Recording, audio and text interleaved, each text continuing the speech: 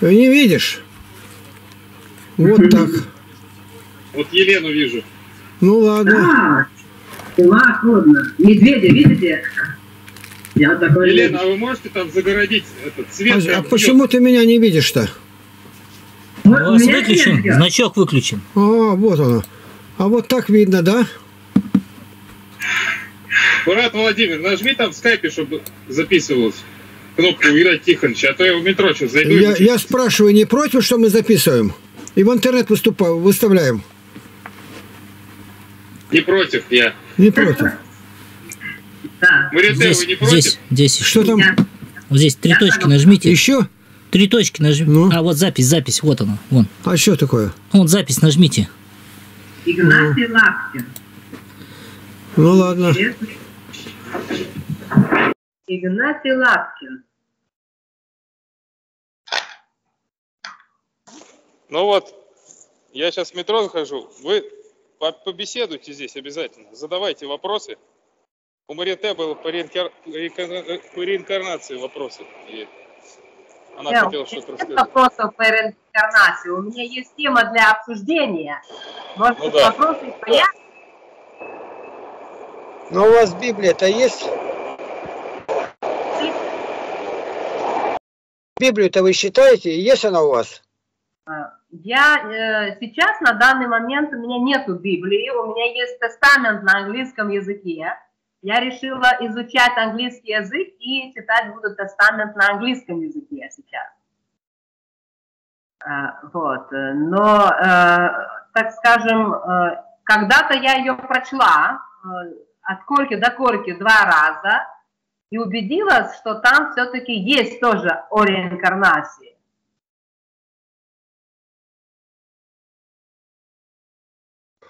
Так Информация. ваша... по- Сейчас, минутку, я, подождите, сделаю здесь, чтобы было видно.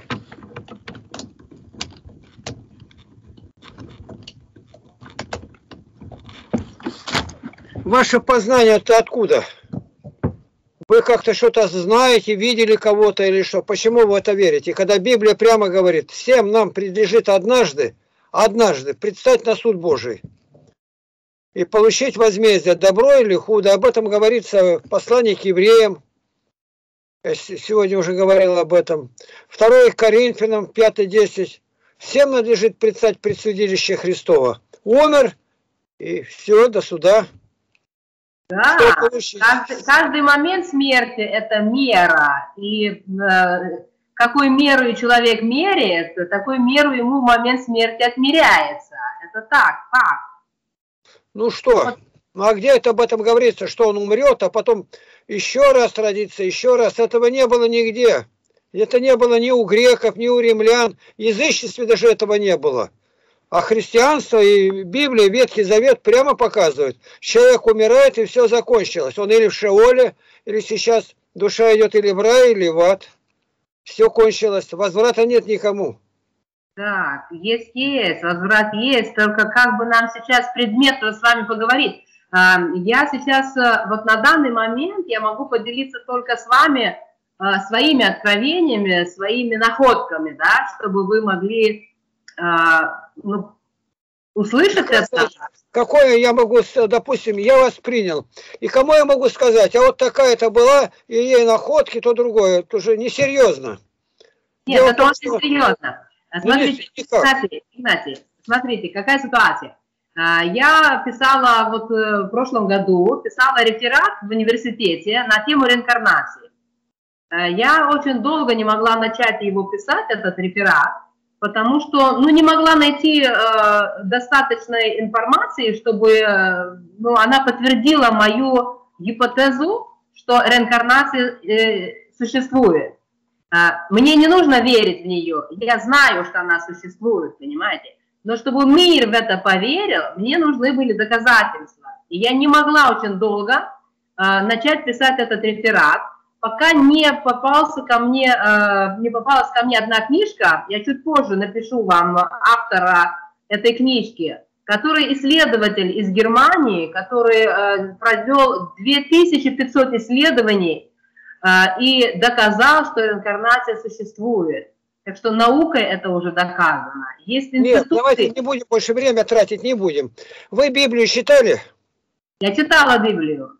Ну, это откровение Божие, чудо сам еврейский народ. Все разложилось, нигде нет, и заново восстанавливается, и весь мир туда смотрит. А вот один немецкий смотрел, считал, да с пьяных глаз может что угодно сказать. Сама совесть подсказывает, что не так это. Нет возврата, никого. Ушел, похоронились, с кладбища никто не возвращается, и никуда он не возвращается. Он гниет, а потом воскреснет на судный день. А это так что угодно можно прийти по пьяную руку-то. Зачем это? Время терять на это. Тогда Опереться не на что. А Господь говорит, небо и земля исчезнут, но ни одна иота, черта из закона не исчезнет. А здесь полностью все опровергать, а кто-то один немец смотрел. Ну что один? Верить, что живет один раз и умирает человек, и на суд. Верят сегодня 2 миллиарда 450 миллионов. И также верят, точно так же верят 2 миллиарда мусульман. А вот это вот там, ну какая-то кроха, там 2-3 человека. Зачем это нужно? Это боязнь суда Божия. А я буду, может, князем, а может, свиньей, а может, червем. Бред. И даже слушать тут нечего. Ну, Игнатий, в таком случае наш разговор неуместный, потому что я думал, что мы будем говорить о реинкарнации, и вы Ну, о попомните... чем говорить-то? Понимаете, о реинкарнации. Я вам буду говорить свое, а вы свое. Надо опираться на важное. Важное это Слово Божие, которое прошло через века. Исаак Ньютон говорит, я гипотез не сочиняю, а только говорю то, что написано в Библии. Все ученые мира, Нобелевские лауреаты, все верят, как я вам говорю, как по Библии. А я думаю, так, да тут... ну, О чем разговаривать? Да таких идей до конца краю нет сколько. Что попало делают. Надо верить, как Евангелие. Библия предсказала, события идут точно в ряд, как уже предсказано. А это ни на что нельзя опереться. Я думаю, реинкарнация. Игнатий, Мне- я вам, э, с вашего позволения, я вам пришлю одну работу, где будет написано очень много информации, которая может вам э, даст какой-нибудь вот толчок в другую сторону поразмышлять. Но разрешите мне рассказать одну э, простую вещь э, из своей, ну как не простая эта вещь, а просто один эпизод из своей жизни. А, Я встретила женщину, которой было 90 лет, и она очень боялась смерти. Она так боялась смерти, что она из-за этого долго не умирала, хотя хотела уже умереть. И э, я, э, я с ней поговорила, а она нашла меня, я по радио выступала, она нашла меня и попросила прийти. Я ее подготовила к смерти, я ей рассказала о реинкарнации, я рассказала ей все, что знала на тот момент о реинкарнации. Она так вздохнула, так мне благодарила за это, говорит, теперь я говорит, могу легко умереть. И умерла легко, спокойно, без всякого Вас как звать-то? Звать-то как вас? Именно не реинкарнация, Игнатий, именно реинкарнация освобождает человека от Не страха. надо, это бред пьяного человека, а я успокоил его, да может что угодно, завтра у каждого будет миллиард у нас рублей, и он успокоился, ничего не делает. Ну разве это, вы обольстили человека, доказательств никаких нет, она умерла, не покаялась, не исповедовалась, не причастилась. Вы обольстили ее, вам за это отвечать придется. Дорогой, уважаемый Игнатий, Да нет, нет, это, а доказательства. сатана просто, так, разговор-то не о чем, у вас ничего нету, ни, ни, ни Библии нету, ни, ни верия нету, а о чем беседовать, а когда нет ничего, а, опереться-то не на что. Вот она Библия, посмотрите, 3600 лет назад первые буквы записаны были о сотворении мира.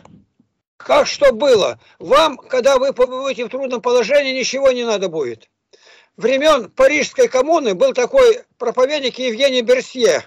И он говорит, вот сегодня тебя арестовали, как граф Монте-Кристо.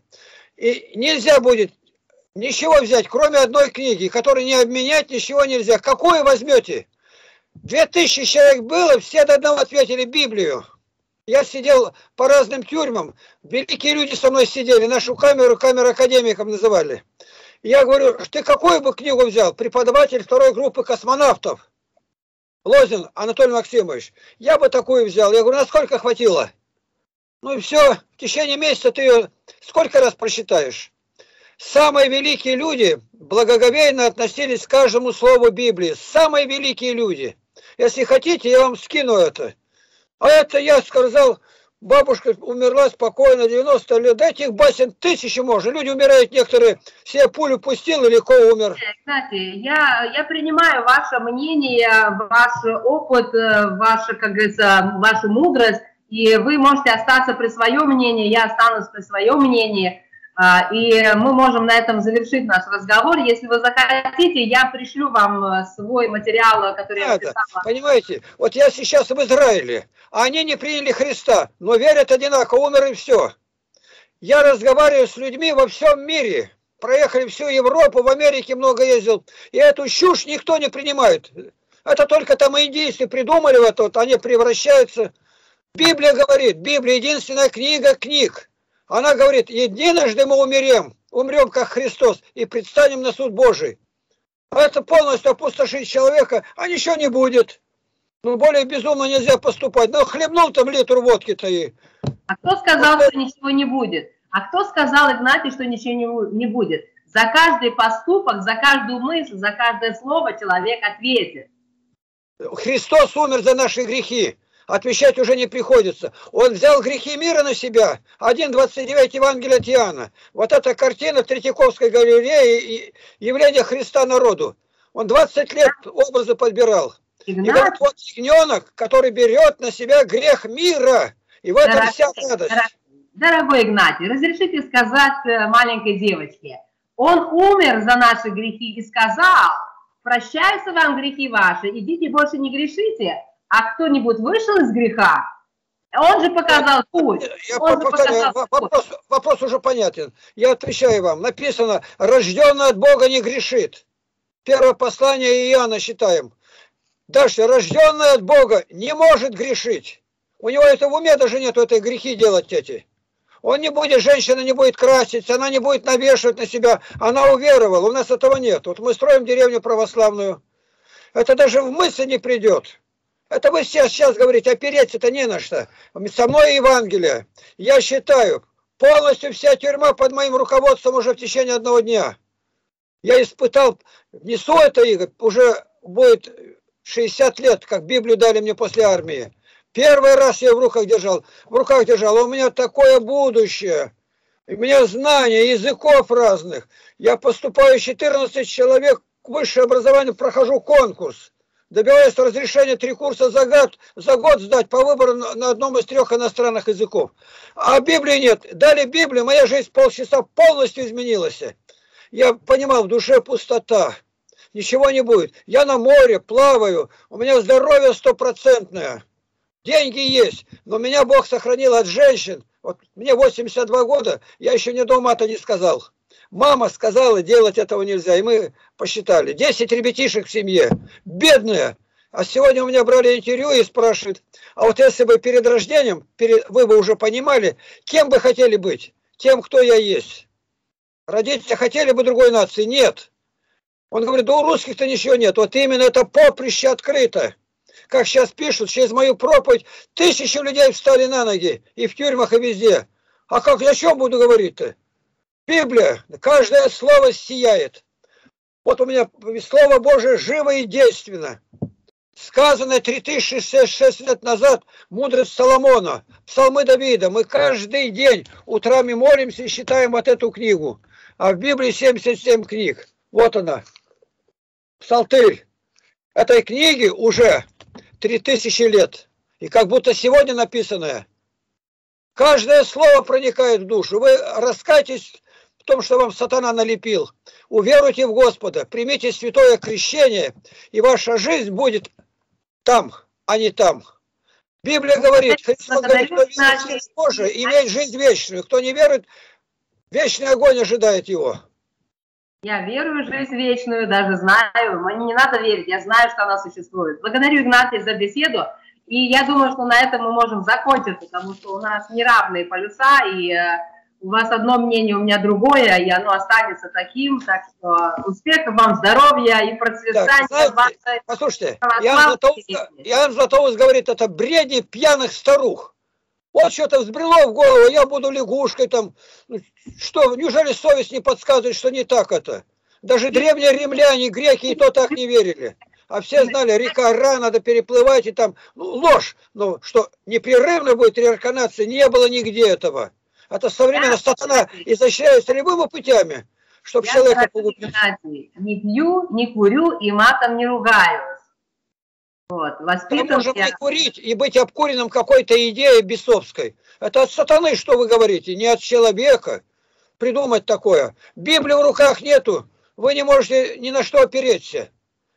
Игнатий, а можете мне расшифровать одно место в Библии?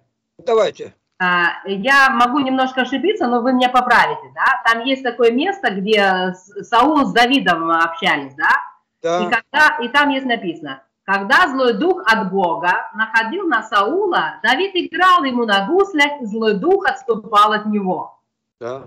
Расшифруйте мне, пожалуйста, что это было за злой дух, который находил на Саула от Бога? Демон, демон, черт рогатый, залез человека. Вот что, когда Господь шел и бесновато, он спрашивает, как тебе имя? Он говорит, легион. В одном человеке не меньше двух тысяч бесов было. Вот злой Вот дух – это тот, который был на небе ангелом. Вот есть такой маленький ролик, вы его посмотрите, называется «Интервью с дьяволом». Дьявол дает интервью, как он пал с неба. Это 12 глава Апокалипсиса говорит об этом. Игнатий, Господь об этом говорит.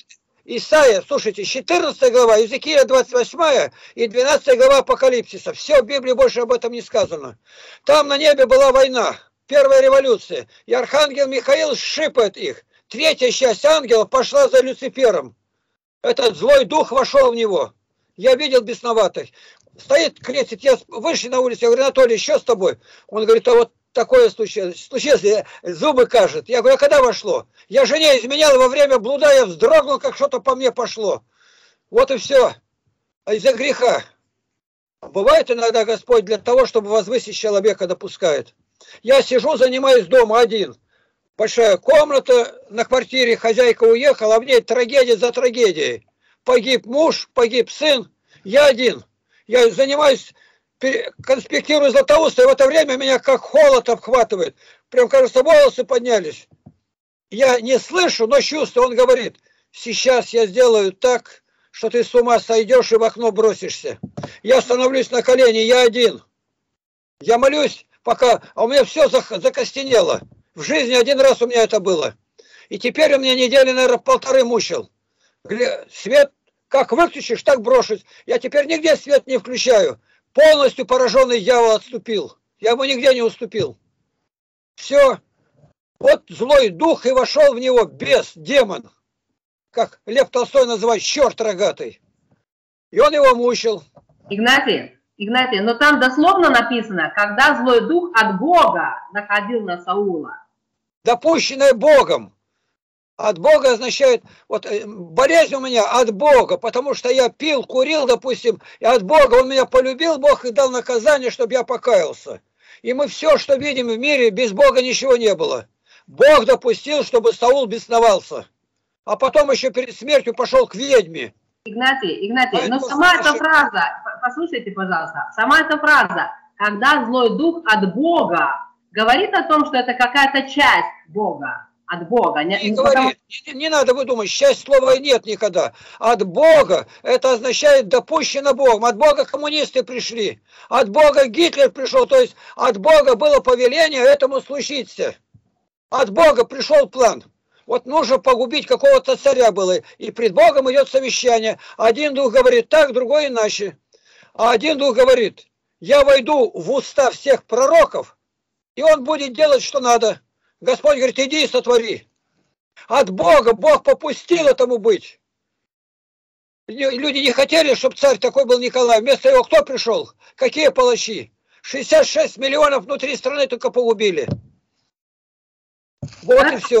Игнатий, я не, ну, как бы не вижу смысла дальше продолжать нашу беседу, потому что тема, она назначена, обозначена как реинкарнация, но она не имеет места обсуждению с вашей точки зрения, так что благодарю вам, всех благ вам, Я вам счастья, советую, здоровья. покайтесь перед Богом, что вы такое допустили злого духа, чтобы в вас вошел. Это он говорит. Это вот тот сам дух, который от Бога, Бог допустил, чтобы вы страдали от него. Покайтесь, уверуйте в Бога, идите в храм Божий, купите Библию. У меня нет, нет страданий, я чувствую себя очень Нет, хорошо. нет, а я вижу по, по лицу, по всему, что это ненормально у вас. Я с людьми работаю день и ночь. Мне не, я один раз только поговорю с человеком и биографию его напишу. Мне звонят со всего мира, чтобы помолиться. Я молюсь, еще уже говорят, уже ребенок встал. Бог дал мне этот талант. С, с разных стран пишут, с Америки не пишут, а звонят по скайпу. Я начинаю молиться, и сразу и, другой климат идет. Бог делает, это не я, Бог делает. Я А, с человеком молитва разговариваю, я глянул на него только и вижу, что ваше состояние как пьяное какое-то. Видно, или под наркотиками. Мое Вот такие состояние. я- люди так я себя ведут, вот как вы. Вид ваш такой. Пьяность другого, э, с большого будуна, говорит, или после по- а, наркотиков. Я каждый день, сотни людей передо мной проходят. А вы потом говорите? говорят, а как вы догадались? Да я говорю, видать у тебя, как язык говорит, что ты говоришь. Ну, это легко отличить. Говорит, это человек в Духе Святом или от дьявола. Это, тут не надо ничего, это на лицо все. Все, договорились. Я больше не намерена продолжать. Благодарю вам за знакомство и всех вам благ. До свидания. Это у вас был важный час. Покайтесь и веруйте в Евангелие. Потом вы будете искать и уже от моря до моря будет ходить искать, и не будет, все изымут. Мы на грани окончания мировой истории стоим. Все часы мира остановятся. Наставление. Благодарю за наставление и всех вам благ. Давайте ищите, пока Господь близко. Возьмите Библию, считайте ее. Считайте, и каждое слово истина, потому что все написано и исполняется. Когда взорвался четвертый атомный реактор в Чернобыле, знающие люди сразу увидели. В Библии написано, падет с неба звезда полынь, воды сделаются горькими, многие умрут. Все, вышла она. Вышла, не вещает. Так что, Николай, кончилось? Да, она вышла. Не вмещает. Я что мог, то сказал. Это одержимость бесовская.